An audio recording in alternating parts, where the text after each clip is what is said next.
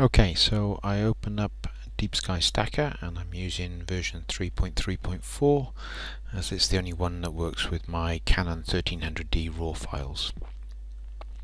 Um, so what we need to do is open the lights or picture files. Um, so it's already gone to the original um, folder where they are and I'm looking for raw files so I can select all of these down here. And click open. And that'll bring them all in uh, directly.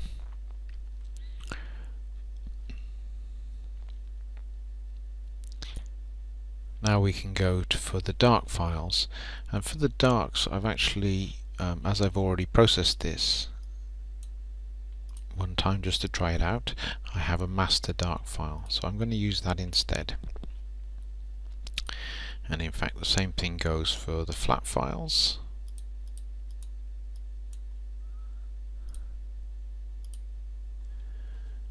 and the offset bias files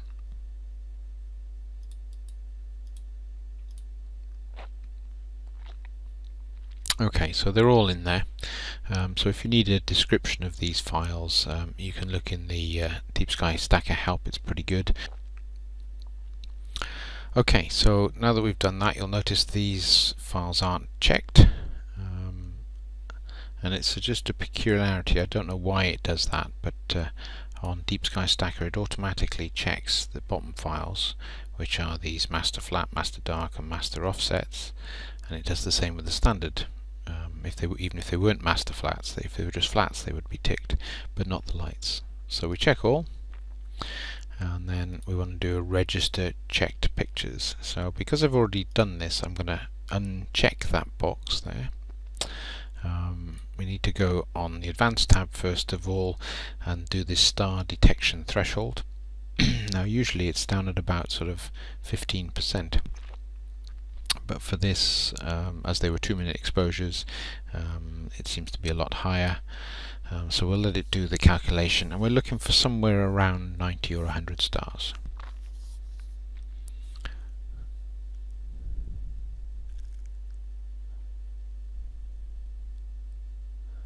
Okay 109 stars that'll do. That's fine. Um, so if we then have a look at the uh, recommended settings anything that's already in green are already applied. Um, so if we just scroll down a little bit,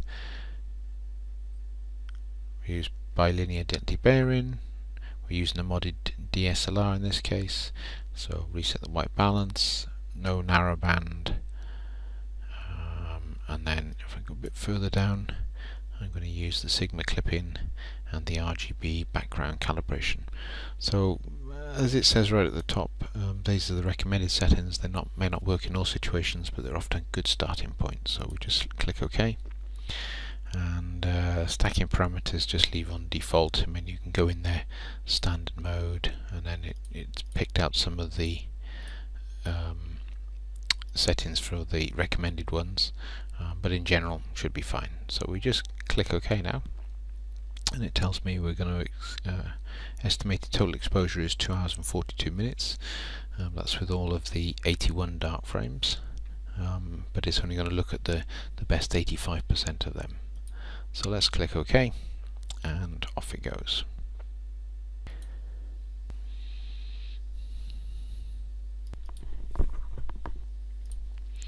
Okay so it's saving the final image and uh, then it'll reload it it's taken about 10-15 um, minutes to do this, so yeah, quite intensive.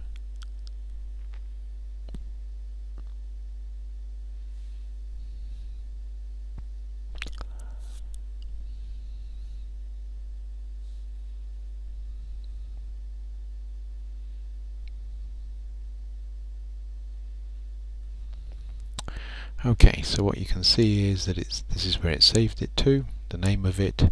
It's taken 68 of those 81 frames, so we have a total of 2 hours and 16 minutes of exposures.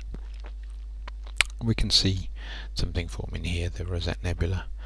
Um, now you can do some work in Deep Sky Stacker um, but yeah, it's it's not not not the greatest program for uh, post processing. So uh, rather than mess about with it too much in this, I would suggest you just simply go to this and put it into Lightroom or Photoshop and do most of the work from there. So let's do that now.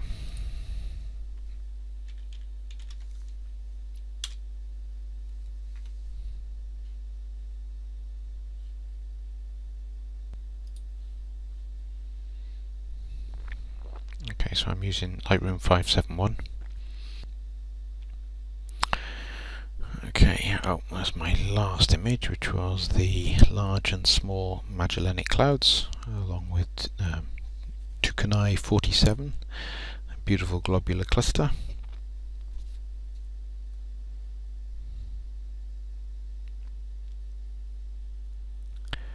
Um, but that's not what we're here to look at anyway. Yeah, that's better. Okay, so let's go to the library module and go for uh, import.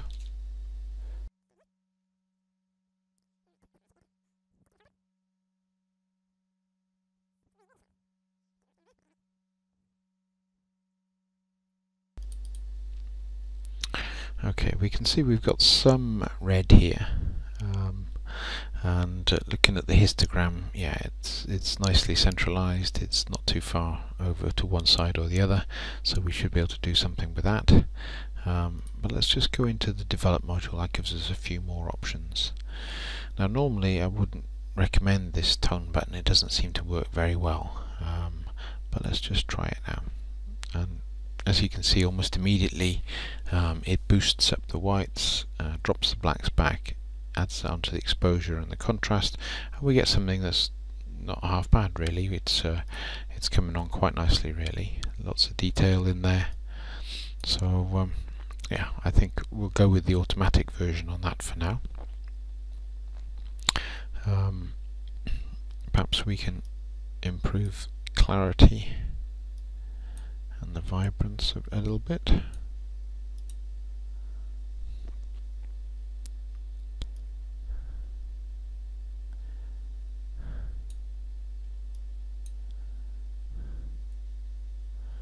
Yeah, not too bad.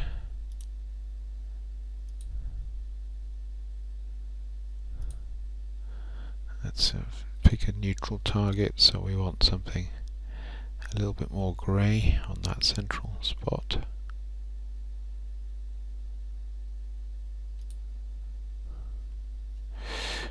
I think that actually made it worse, but anyway.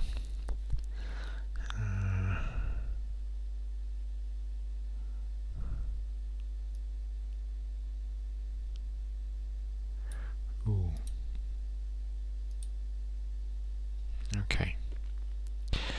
Alright, so let's just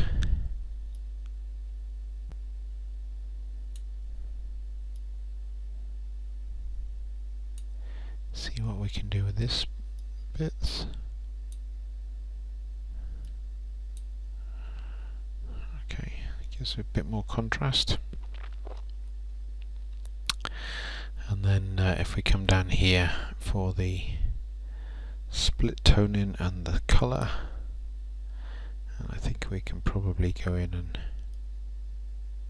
see what that does that. So you can you can over process it very easily. But somewhere in between the two.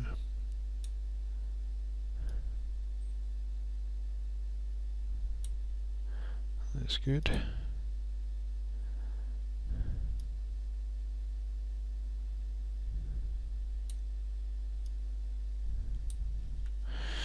Yeah, okay, I'm liking that. There's a little bit of a, a gradient going on down here. I'm never quite sure how to get rid of those.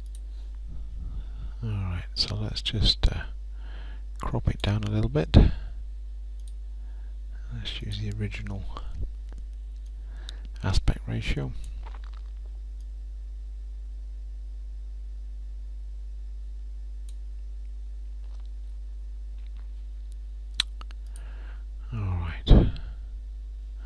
And there we go I think that's pretty good and then all I do is export it and I export it to hard drive and I set it up as a JPEG and go through the rest of the, the settings down there. Great, that's about it.